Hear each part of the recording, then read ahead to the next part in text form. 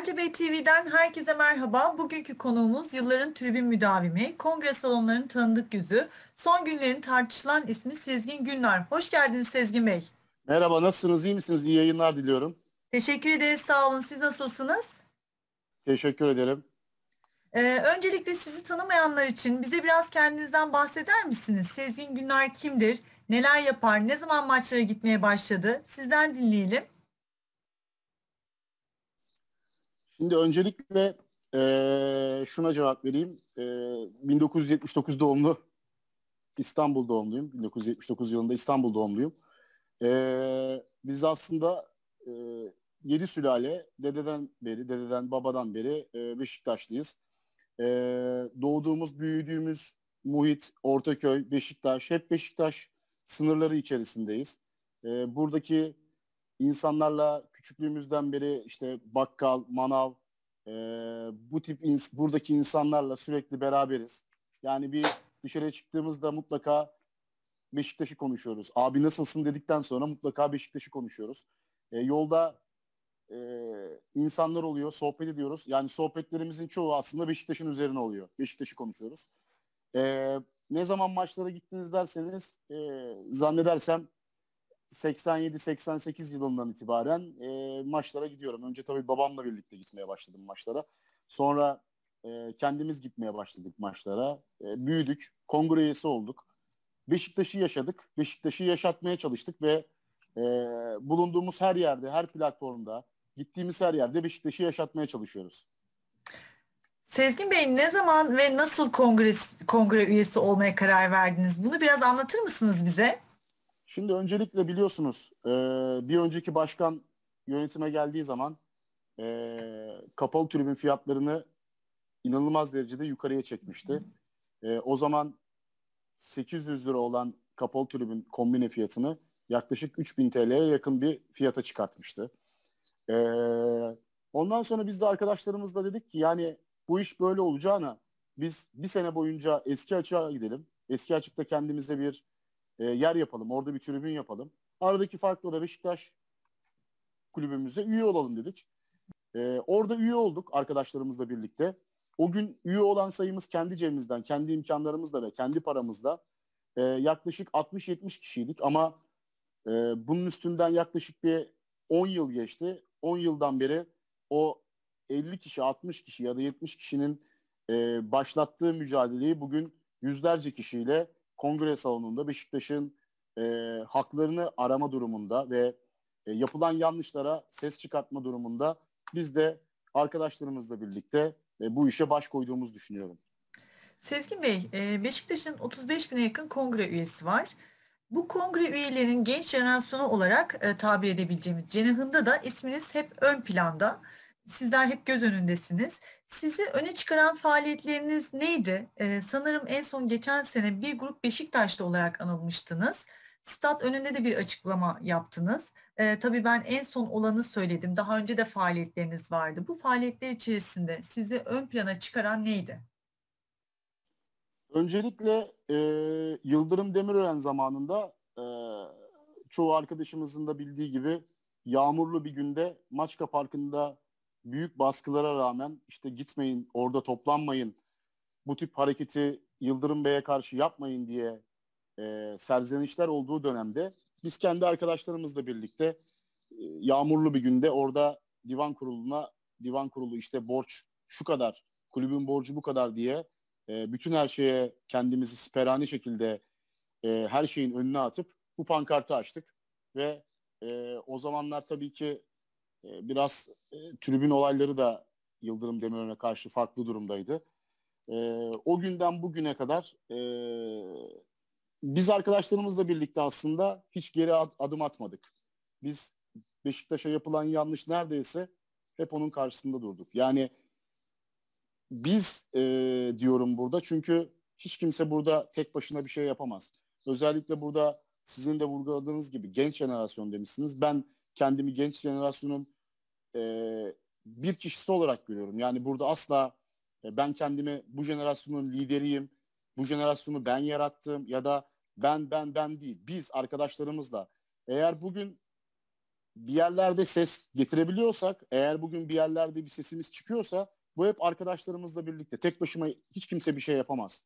Yani burada e, tribünde verilen mücadeleden, gittiğimiz deplasmanlardan işte İnönü Stadı eski adıyla şimdiki e, Vodafone Park'a gidiyoruz, deplasmana gidiyoruz ama e, Beşiktaş bizim hayatımızın en önemli noktasında. Yani yapılan bir haksızlık varsa biz buna tabii ki karşı duracağız. Buna karşı direniş göstereceğiz.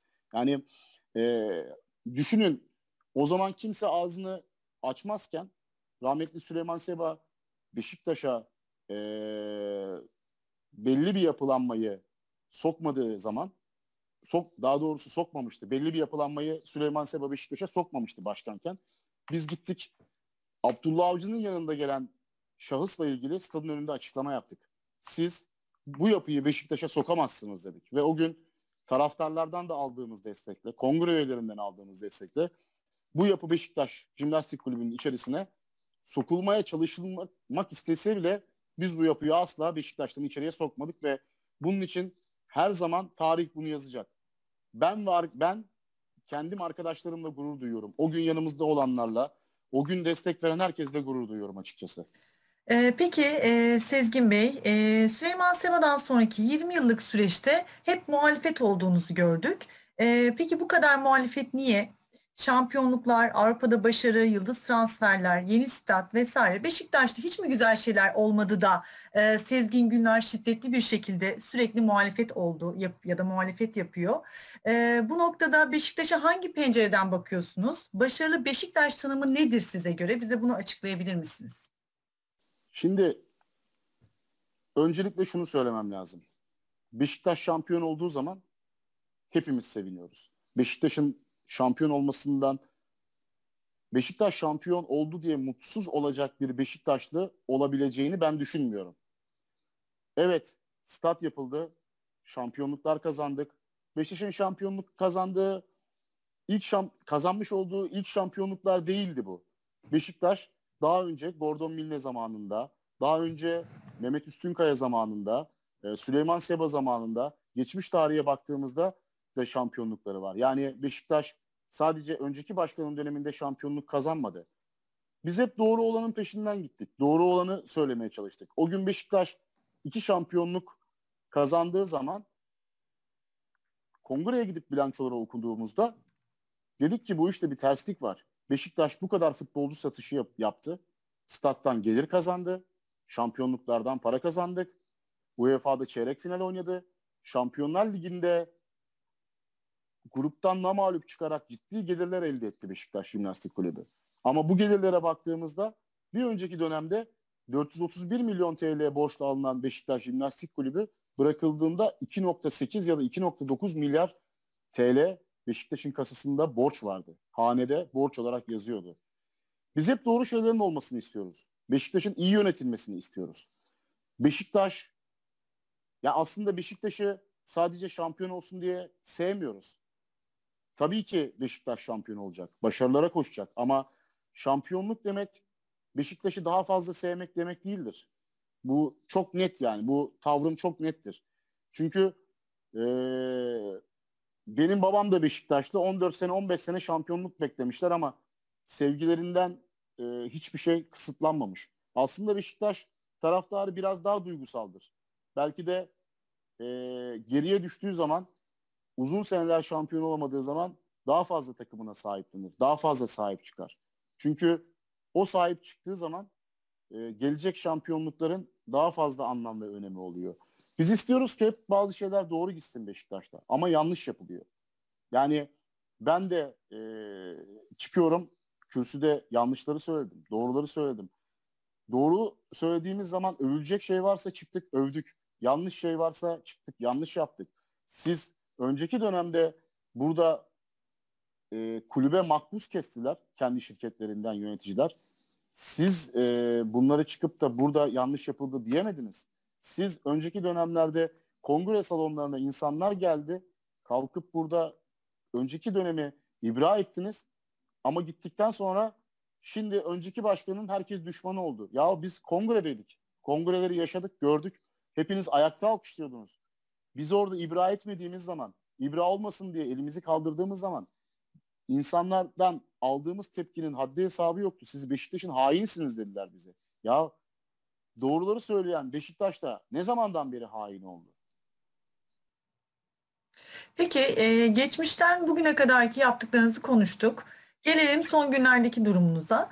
E, bu muhalif duruşunuz yüzünden denetim kurulunun tavsiyesiyle yönetim tarafından disiplin kuruluna sevk edildiniz ve sizden savunmanız istendi. E, sizi disiplin kuruluna sevk eden kimlerdi? Neden sevk edildiniz? Bununla ilgili açıklamanız ne olabilir? Aslında sistem uzun zamandan beri Beşiktaş'ta doğruları söyleyen insanlar üzerine e, baskı yapılarak, kulüpten uzaklaştırılarak ya da kınama cezası verilerek insanların e, kongre üyelerinin daha doğrusu e, Beşiktaş kulübünden uzaklaştırılması isteniyor. Çünkü kongre salonuna gittiğimiz zaman yönetim olsun, e, kurullar olsun hiç kimse doğruları duymak istemiyor. Onların duymak istedikleri tek şey e, insanların konuşup onları övdüğü, bir tane bile yanlış söylemediği ve sürekli alkışlandığı bir ortam istiyorlar. Ama ben e, başından beri yanlış neyse hep onun karşısında durdum. Yanlışı söyledim. Ve bundan da bir adım geri atmadım. Şimdi disiplin kurulunda e, benim ihracımla ilgili olan duruma gelirsek Beşiktaş Jimnastik Kulübü'nde biliyorsunuz ben kendi sosyal medya hesabımdan da Twitter hesabımdan da bunları yayıyorum. Ve bir sürü başka takım taraftarları Beşiktaş Jimnastik Kulübümüze üye. Diyoruz ki biz Beşiktaş'ın geleceğine bu üyeler e, katkı vermesinler. Eğer ki bir başkan, kurullar, divan başkanı seçilecekse kim olursa olsun Beşiktaşlıların oylarıyla bunlar seçilsinler. Yani başka takım taraftarları gelip bizim kulübümüzde e, oy atmasınlar. Bunlar gelip Beşiktaş'ın aidiyetini bilmeyen insanların bizim kongremizde ya da bizim camiamızın içerisinde e, hiçbir şekilde kendilerinin e, kendilerine onlara ait bir yer değil burası. Onlara ait olmamalı burası. Şimdi yaklaşık iki sene önce ben üyeliklerle ilgili Beşiktaş kulübümüze gittiğimiz gittiğimde dedim ki bu üyeler var. Bunlarla ilgili disiplin kuruluna bir yazı yazdım. Lütfen bunları üyelikten çıkartalım. Gereğini yapalım diye. Beşiktaş tüzüğünde diyor ki 30 gün içerisinde size gelen bir evrağa, bir yazıya eğer ki geri dönüş yapmıyorsanız e, disiplin kurulu üyeleri ve başkanı bir dahaki seçimlerde Beşiktaş kurullarına hiçbir şekilde aday olamazlar. Şimdi ben bu kağıdı verdikten sonra bana karşı cevap geldi. Dediler ki siz bizim kurulumuza herhangi bir kağıt ulaştırmadınız.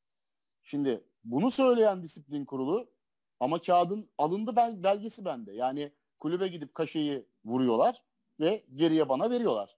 Ben buradan yola ve arkasından bu yönetim kurulu yani disiplin kurulu yapılan son seçimde aday oldu ve seçimi kazandılar. Aday olmamaları gereken yerde aday olup kazan, kazandılar. Ben bu işi mahkemeye taşıdım. Dedim ki burada usulsüzlük var.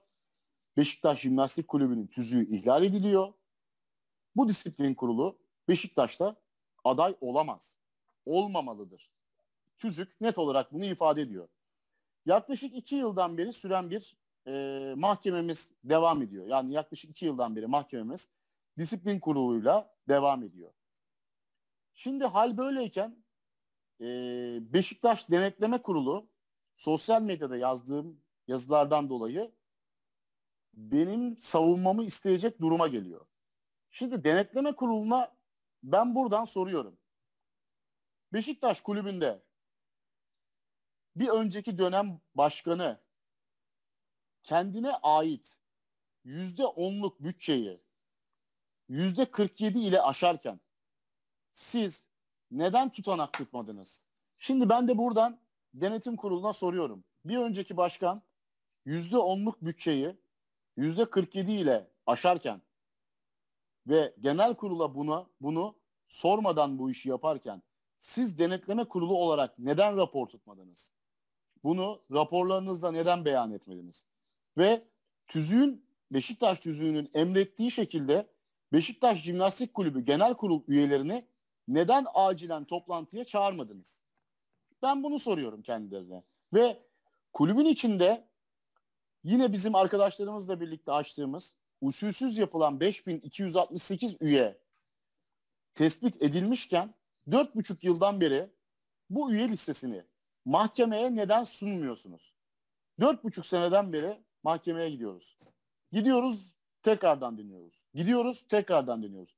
İstediğimiz tek şey üye listesinin mahkemeye bizzat verilmesidir. Ve siz bunu yapmıyorsunuz. Yani burada aslında kimi kimden kayırıyorsunuz? Ee, Sezgin Bey, ihracınızın istenmesi sosyal medya ve camiada büyük yankı uyandırdı. Ee, çok fazla destek gördünüz. Büyük e, kısım muhalif tutumunuzdan ötürü mağdur edildiğinizi düşünüyor. Sizce bundan sonra ne olacak? Ee, yönetim ve kurullar geri adım atar mı? Ya da sizin açınızdan soralım. Beşiktaş'taki kurullar ile mücadeleniz daha da artacak mı? Yoksa biraz dinlenmeye mi çekileceksiniz? Şimdi öncelikle bu süreçte yaklaşık 4-5 günlük süreçte destek veren herkese teşekkür ederim. Ayrıca Twitter'dan özel mesaj olarak destek verenler, WhatsApp'tan yazıp destek verenler herkese teşekkür ediyorum. Bütün bunu teşekkür ederken insan gerçekten haklı bir gurur yaşıyor. Çünkü demek ki bugüne kadar ben kendi adıma ve arkadaşlarım adına hep doğruyu yapmışım. Hep doğrunun yanında olmuşum. Ee, ben hiçbir şekilde e, yönetim kurulunun, disiplin kurulunun ya da denetleme kurulunun bu davayı geri çekmesini istemiyorum. Neden? Bu işi sonuna kadar devam ettireceğim. Çünkü Beşiktaş'ta yapılan usulsüzlük var. Bu usulsüzlükler devam edici, ediyor ve bu usulsüzlükler karşısında ben bu davamı sürdüreceğim. Yani düşünün bir uluslararası şirketlerde, denetleme şirketlerinde bile dünya çapında e, denetleme kurulları 4 ile 7 yıl arasında görev yapabiliyorlar. Ondan sonra değişiyor. Beşiktaş Denetleme Kurulu 20 yıldan beri, bakın 20 yıldan beri Beşiktaş Jimnastik Kulübü'nde denetlemede. Dünyanın neresinde böyle bir şey var? Siz denetleme kurulu olarak döndünüz. Geçen dönemki başkanın peşinden gidip, bir önceki başkanın peşinden gidip kendinize oyu istediniz kazanabilmek için seçime. Gittiniz e, seçimden önce e, insanlara promosyon olarak çakmak dağıttınız. Ya ben sizden çakmak dağıtmanızı istemedim. Ben hakkaniyetli şekilde Beşiktaş'ın hakları yenilirken düzgün şekilde raporlamanızı ve işinizi doğru düzgün yapmanızı istedim. Biz bunu istiyoruz. Biz başka bir şey istemiyoruz. Yani e, bir denetleme kurulu düşünün. Beşiktaş'ın bir önceki dönemki başkanı Bankalar Birliği ile anlaşma yapıyor. Denetleme kurulu bundan haberi yok. E, raporlara yansıtıp bunu Beşiktaşlılara sunmuyor, anlatmıyor. Şimdi biz neyi konuşuyoruz? Sen yaptırdığın çakmakla seçim kazanıyorsun. E aldığın çakmakla resmen Beşiktaş'ı yakıyorsun. Yaptırdığın çakmakla Beşiktaş'ı yaktın. 20 seneden beri oradasınız. 20 sene. Artık bırakın. Gençler bu işi yapsın. Bu işin daha iyileri, daha düzgünleri yapsınlar bu işi. Ben davamın arkasındayım. Ben bu işin sonuna kadar peşindeyim. Lütfen çekmesinler davayı geri. Ya da e, bu işi toparlamak için sulh yolunu seçmesinler. Kongre salonunda kendileriyle görüşelim. Gideceği yer neresiyse bu işin ben bu işin sonuna kadar arkasındayım. Sezgin Bey, Beşiktaş'taki usulsüzlüklerle ilgili yönetici ve kurulları dava ettiğinizi ve bu mahkemelerin sürdüğünü biliyoruz. Bu, bu mahkemeler neler ve şu anda ne aşamada? Ee, bize biraz bunlardan söz edebilir misiniz? Şimdi öncelikle şunu söylemek istiyorum. Bakın, denetleme kurulu diyor ki 5268 kişinin kulüpte aidat yatırmaya geldiğinde bunun diyor sistem olarak doğru olmadığını, fiziksel olarak doğru olmadığını zaten raporumuza biz beyan ettik diyor. Feyyaz Tuncel Denetleme Kurulu Başkanı. Peki ben de diyorum ki siz bunu beyan ettiyseniz siz bunun arkasında neden durmuyorsunuz? Yani dört buçuk seneden beri devam eden bir davaya istenilen tek şey e, mahkemeye isim listesinin verilmesi. Başka bir şeye gerek yok. Yani tüzük gereği 5 yılı aşmış kongre üyesi, aşan kongre üyesi senede sadece 10 kişiye referans olabilir derken insanlar burada 200 kişiye, 300 kişiye, 500 kişiye referans olup Beşiktaş tüzüğünü çiğnemişler. Ve siz o koltukta oturup bütün bu işlere, bu yanlışlara göz yummuşsunuz. Şimdi çıkıp kendinizi aklamaya çalışıyorsunuz. Bu, efendim biz bu e, yazıyı zaten biz yazdık diye. Siz kendinizi eğer aklayacaksanız mahkemeye bu yazıyı verin. Kimlerin olduğunu verin ki aklansın. Yani ben ben Beşiktaşlıyım. Düşünün ben Beşiktaşlıyım. Mahkemeye gidiyorum. Karşımdaki taraf Beşiktaş. Bundan daha acı ne olabilir ya? İnsanın üzüleceği daha büyük başka ne olabilir? Ben Beşiktaşlıyım. Davaya gidiyorum. Karşımdaki davacı Beşiktaş. Dava ettiğim kişi. Neden bu işler e, çözülmüyor Beşiktaş'ta? Çözülemiyor. Maalesef çözülemiyor. Ve bu iş artık çığırından çıktı. E, şimdi beni e, savunmamı istiyorlar. Ben önümüzdeki hafta savunmamı yapıp ileteceğim kendilerine. Söylediklerinden ve düşüncelerimden bir adım geriye atmayacağım. Eğer bunlardan geriye adım atarsam ben kendi Beşiktaşlığımı inkar etmiş olurum. Ben Beşiktaşlıyım. Benim için e, kongrede olmuşum, kongre üyesi olmuşum, olmamışım önemli değil. Ben zaten e, tribünden geliyorum. Zaten oradayım. Zaten Beşiktaş semtindeyim. Zaten Beşiktaş'la ilgili her yerdeyim. Siz elinizden geleni ardına koymayın. Tekrardan söylüyorum. E, denetleme kurulundan, disiplin kurulundan, hatta yönetim kurulundan da rica ediyorum. Lütfen buyurun benim kağıdımı kongre salonuna getirin. Her şey kongre salonunda konuşulsun.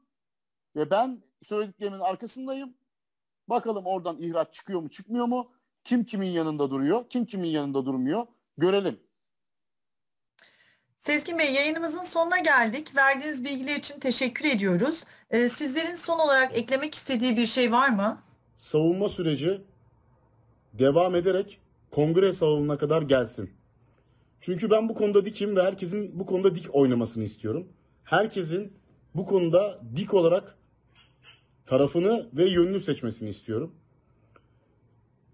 Sosyal medyada işte barışın bu konu uzamasın diye yazanlar oluyor. Onları görüyorum ama benim kimseyle barışacak bir durumum yok. Çünkü Beşiktaşlılar Beşiktaş'a hainlik edenlerle asla barışmazlar ve ben kimseyle barışmayacağım. Bu işi sonuna kadar devam ettireceğim. Evet, bugünkü konuğumuz tribünlerin ve kongrelerin müdavimi Sayın Sezgin Günler'di. Katılımınız için teşekkür ederiz Sezgin Bey. Hoşçakalın, teşekkür ediyorum.